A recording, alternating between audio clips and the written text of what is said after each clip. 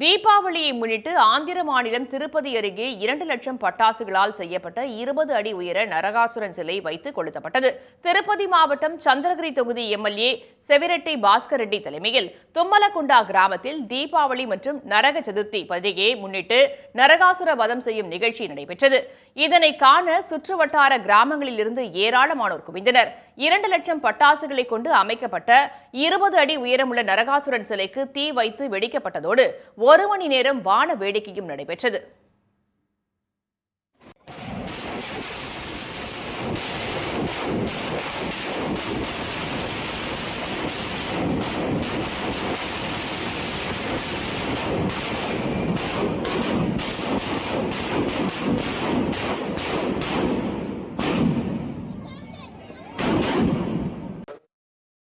பஞ்சாபின் அமிர்தசரஸில் உள்ள பொற்கோயில் தீபாவளி பண்டிகையொட்டி வண்ண விளக்குகளால் அலங்கரிக்கப்பட்டிருந்தது.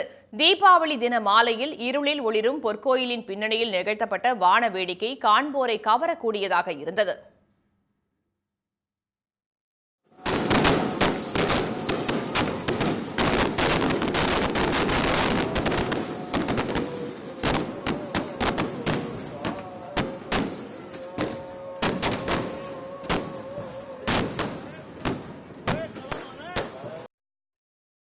பஞ்சாபின் பத்தான்கோட்டில் போரில் உயிரிழந்த ராணுவ வீரர்களின் குடும்பத்தினர் கூடி தீபாவளி கொண்டாட்டத்தில் ஈடுபட்டனர்.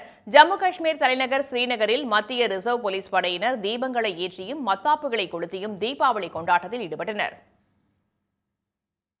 தீபாவளி பண்டிகையொட்டி மேற்கு வங்க முதலமைச்சர் மம்தா பானர்ஜி கொல்கத்தாவில் உள்ள தன்னுடைய இல்லத்தில் காளிக்கு பூஜை செய்து வழிபட்டார்.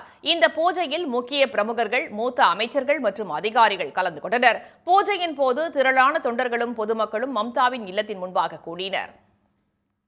அயோத்தியில் நடைபெற்ற தீபோத்சவ நிகழ்ச்சியில் பதினைந்து லட்சத்து எழுபத்தாறாயிரம் அகல் விளக்குகள் ஏற்றப்பட்ட நிகழ்வு கின்னஸ் புத்தகத்தில் இடம்பெற்றுள்ளது. இந்நிகழ்வில் சுமார் பத்தொன்பதாயிரம் தன்னார்வலர்கள் பதினேழு லட்சம் மண்ணாலான அகல் விளக்குகளை ஏற்றினர்.